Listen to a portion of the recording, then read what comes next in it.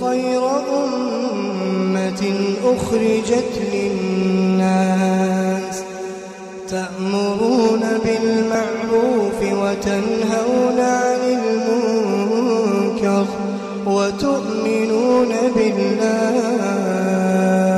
السلام علیکم ورحمۃ اللہ وبرکاتہ الحمد للہ وکفا وسلام علی عباد الذین اصطفى. أما بعد محترم ناظرین،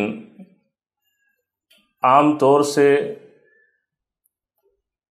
لوگوں میں یہ چیز دیکھی جاتی ہے کہ جب اللہ تعالیٰ اسے مال و دولت سے نواز دیتا ہے، اللہ تعالیٰ اسے جاہو منصب سے نواز دیتا ہے، کسی پوسٹ اور منصب پر فائز ہو جاتا ہے، یا اللہ تعالیٰ کسی انسان کو بے پناہ حسن خوبصورتی سے نواز دیتا ہے تو انسان اترانے لگتا ہے، انسان شیخی بخارنے لگتا ہے اور انسان کبر اور گھمنڈ میں مبتلا ہو جاتا ہے۔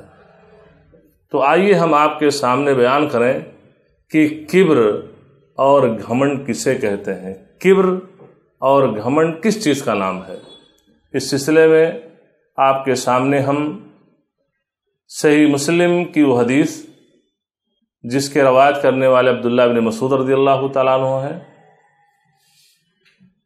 اور حدیث نمبر اکیانوے ہے کتاب الایمان باب و تحریم القبر اللہ کے رسول صلی اللہ علیہ وسلم نے شاد فرمایا لا يدخل الجنہ من كان في قلبه مثقال ذرة من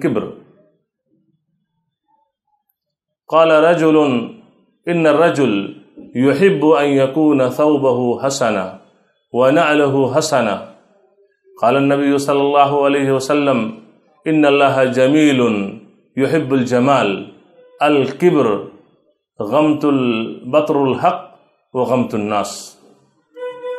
اللہ کے رسول صلی اللہ علیہ وسلم نے ارشاد فرمایا، جس انسان کے دل میں ذرہ برابر بھی کبر اور گھمنڈ ہوگا جنت میں داخل نہیں ہوگا۔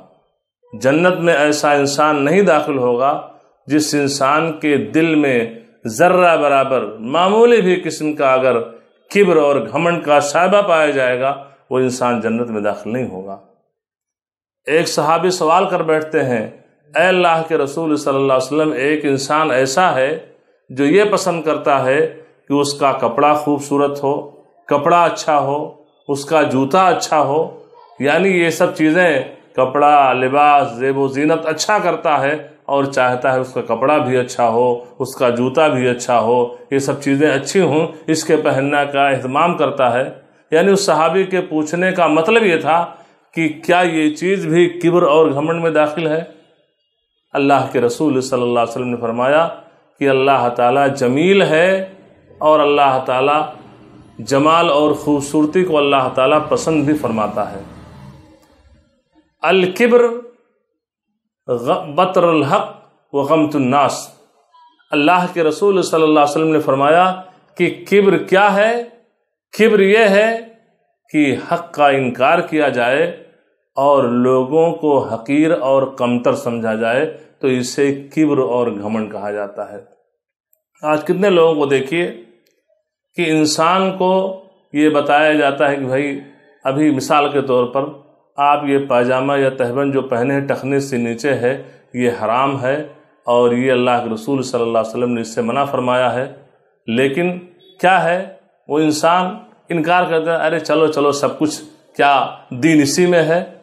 یعنی یہ حق چیز ہے اور حق کا انکار کرتا ہے۔ تو یہ دلیل ہے کہ انسان متکبر ہے، یہ گھمنڈ کرنے والا ہے کیونکہ حق کا انکار کر رہا ہے۔ دوسرا انسان، کسی دوسرے انسان کو دیکھتا ہے جو اس سے مال و جائیداد میں کم ہے جاہو منصب والا نہیں ہے، اتنا خوبصورت نہیں ہے۔ ارے، یہ تو بہت تھرڈ کوالٹی کا انسان ہے۔ اس کو کوئی اہمیت نہیں دیتا ہے اور اس کو گری ہوئی نظروں سے دیکھتا ہے۔ تو نبی کریم صلی اللہ علیہ وسلم نے اس حدیث پاک کے اندر کبر کی تعریف فرمائی کہ کبر اور گھمنڈ کسے کہتے ہیں؟ کبر اور گھمنڈ یہ ہے کہ آدمی حق کا انکار کرے اور لوگوں کو حقیر اور کمتر سمجھے۔ اللہ تبارک تعالیٰ سے دعا ہے۔ اللہ تبارک تعالیٰ کبر جیسی مضموم صفت سے اپنے ہر مومن بندے اور ہر مومنہ بندی کو اللہ تبارک تعالیٰ تو بچنے کی توفیق عطا فرما اور کبر کا شائبہ بھی اگر ہو تو اس سے توبہ کرنے کی توفیق عطا فرما۔